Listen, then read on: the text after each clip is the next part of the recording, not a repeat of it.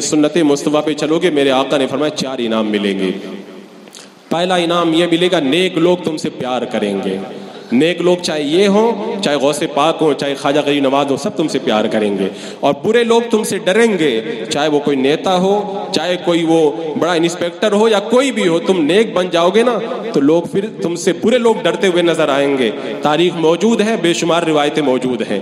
تیسرا انعام یہ ملے گا، اللہ تمہارے رزق میں برکت عطا فرمائے گا۔ پھر تمہیں کسی تعویذ اور کسی بابا کے یہاں جانا نہیں پڑے گا، رزق دینے والا پروردگار تمہیں خود رزق عطا فرمائے گا۔ اور چوتھا انعام، مصطفیٰ جان رحمت کے نقش قدم پہ چلنے والوں کو یہ ملے گا کہ اللہ انہیں دین میں مضبوطی عطا فرمائے گا۔